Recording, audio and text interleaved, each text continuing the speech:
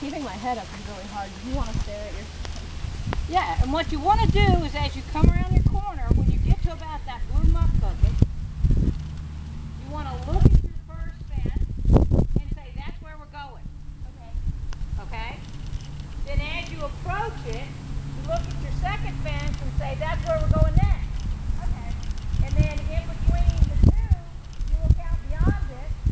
And in all actuality, when you leave the ground right here, What's next? what you should be doing... Shannon, you can quit.